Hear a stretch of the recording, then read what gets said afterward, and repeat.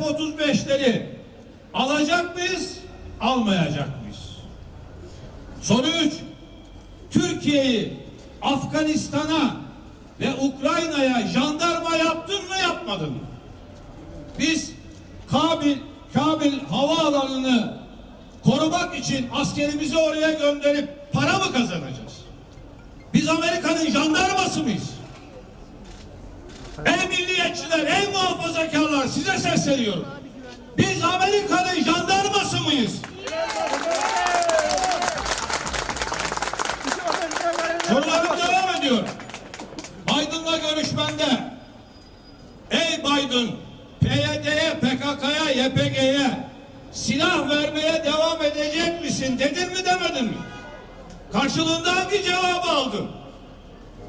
Bunları soruyoruz biz. Bunları öyle fotoğraf üzerinden siyaset yapmıyoruz.